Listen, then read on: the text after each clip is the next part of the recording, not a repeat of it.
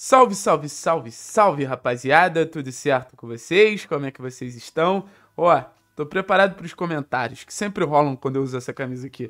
Camisa de miliciano, camisa de, de, de sei lá o quê. Vocês usem a criatividade de vocês aí, camisa de bicheiro. Nossa, escuto muito essa aqui nos comentários quando eu venho com essa camisa. Mas eu vou definir ela como camisa de bom vivan, tá? Que é basicamente a camisa que eu vou botar quando o Atlético entregar uma grande atuação, uma grande noite pra gente. E acho que foi uma grande noite de Copa. Algo que o torcedor do Atlético se acostumou nas últimas temporadas e acho que o torcedor do Atlético ele entendeu já em temporadas anteriores que em Copas é importante você jogar bem, é importante você ter atuações históricas como o Atlético teve nas últimas temporadas, mas no final das contas o mais importante é vencer. Eu não sei se o Atlético jogou melhor que o Bragantino. Na real, até acredito que não. Mas no final das contas, a vantagem que o Atlético vai pro Nabia Bichedi tentar sacramentar de vez a classificação para as quartas de final da Copa do Brasil é uma grandiosa vantagem. Se você falasse antes do jogo para mim, Thiago, você assina o 2 a 0 Assinava fácil. E lembrando, a mesmo o Bragantino criando várias e várias e várias e várias oportunidades, o Atlético também teve oportunidade de fazer mais um, mais dois gols, até com certa tranquilidade ali. O time encaixou boas transições, acabou perdendo pênalti, então, assim, óbvio que é importante destacar o jogo do Bragantino, que eu ouso dizer que foi o melhor jogo do Bragantino na temporada, tanto no perfil tático quanto no perfil técnico de vários jogadores ali, dando uma resposta muito boa mas acho que o Atlético foi maduro, acho que o Atlético soube lidar, e no final das Copas, e no final das contas, Copas é mais ou menos isso. Copa é, é cabeça, Copa é maturidade, Copa é, é nível competitivo alto. O Atlético teve uma grande noite de Copa, o Atlético teve uma grande atuação copeira, e a gente vai falar sobre ela agora. vou pedir o like, vou pedir para você se inscrever no canal, e eu vou botar aqui a barra da nossa querida, da nossa amada KTO, com o nosso código que te dá 20% de bônus no seu primeiro depósito. Então, quer fazer uma fezinha? Quer ir lá no site da KTO? Vale muitíssimo a pena. O QR Code está na tela. Eu ver as estatísticas depois do jogo e eu confesso que eu fiquei um pouco assustado, tá? Óbvio que eu percebi que o Bragantino ficou mais com a bola. Óbvio que eu percebi que o Bragantino, em muitos momentos, teve até o controle do jogo. Mas se você entender essas estatísticas, você vai entender mais ou menos o que foi Atlético e Bragantino.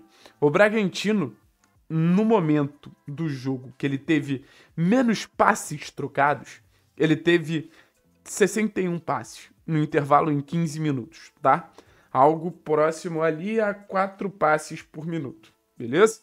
O Atlético, no momento que ele teve mais passes trocados, o Atlético teve dois passes por minuto. Então, assim, o Bragantino, no seu pior momento, teve o dobro do Atlético no seu melhor momento. Para você ver como o Atlético deu a bola pro Bragantino, ou como o Atlético não conseguiu ficar com a bola e o Bragantino ficou. Mas isso é importante na construção desse Atlético do Martim Varinho. O Atlético ele teve uma noite muito atípica dentro da ideia de jogo dele, mas o Atlético ele teve uma noite que em algum momento ele precisaria ter. As noites de Copa, elas também são importantes para você apresentar um nível competitivo alto. As noites de Copa também são para você apresentar uma capacidade defensiva acima do que você costuma apresentar. E foi isso que o Atlético fez. Se defendeu como poucas vezes eu vi nas últimas temporadas. Conseguiu competir como nos melhores momentos que a gente viu o time do Filipão, o time do Altuori, o time do Thiago Nunes. E o Atlético ele sai com a vitória por causa disso. O Atlético não sai com a vitória porque teve um jogo mágico e, e, de grande futebol. O Atlético sai com a vitória porque ele foi corajoso pra caramba. E o Atlético, em algum momento, volto a dizer, ele passaria por esse processo. Em algum momento ele passaria por um episódio como esse. Poderia ser contra o Flamengo, contra o Palmeiras, foi contra o Bragantino. E ouso dizer que quando o Atlético encarar outro grande time, o Atlético vai estar tá um pouco mais preparado. Porque nesse momento do trabalho do Varini, cada experiência é uma experiência nova para esse time na perspectiva agora do trabalho do Martin Varini, com um novo treinador, com uma nova ideia. Então, até agora nenhum técnico conseguiu botar o Atlético contra a parede. O Pedro Caixinha conseguiu. Mas a grande notícia é, mesmo conseguindo botar o Atlético contra a parede, o primeiro tempo poderia ter sido facilmente 3 a 0 A situação do pênalti do Maestrani é, é, é uma pena muito grande. E mais uma vez a gente viu o Atlético conseguir se conectar para gerar gols. A maneira como o Atlético vem fazendo os seus gols é uma maneira que o Atlético não teria como fazer há dois meses atrás. Por isso que eu acho que o Varini é o grande protagonista desse momento que o Atlético está vivendo. As conexões, as alternativas. O primeiro gol já tinha sido muito bonito na troca de passes entre Eric e Coelho, um lado direito que o Martin Varini basicamente cria do nada. Para finalização de peito do Zapelli, que esse sim mereceu muito. Já o segundo gol foi mais bonito ainda. Fernandinho para Zapelli, Zapelli para Canóbio, Canóbio para Esquivel, Esquivel para Christian.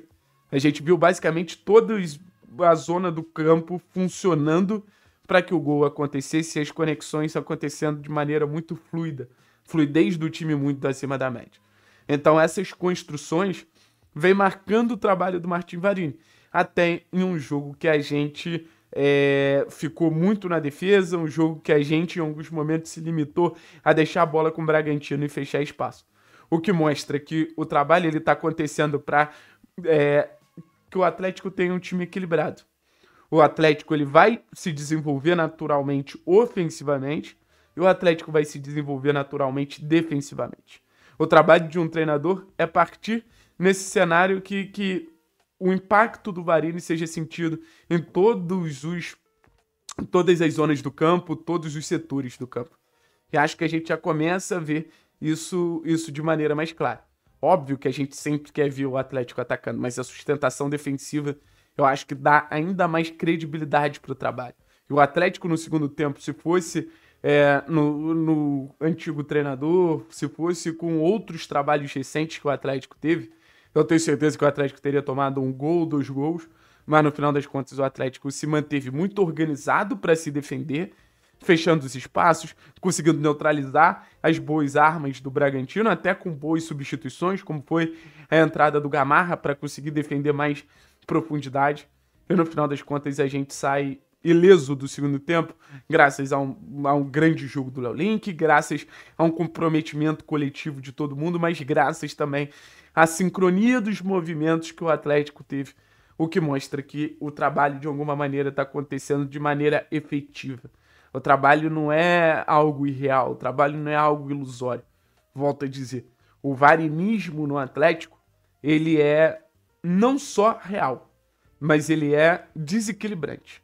Cada vez mais a gente sente que o nosso treinador condiciona as nossas vitórias.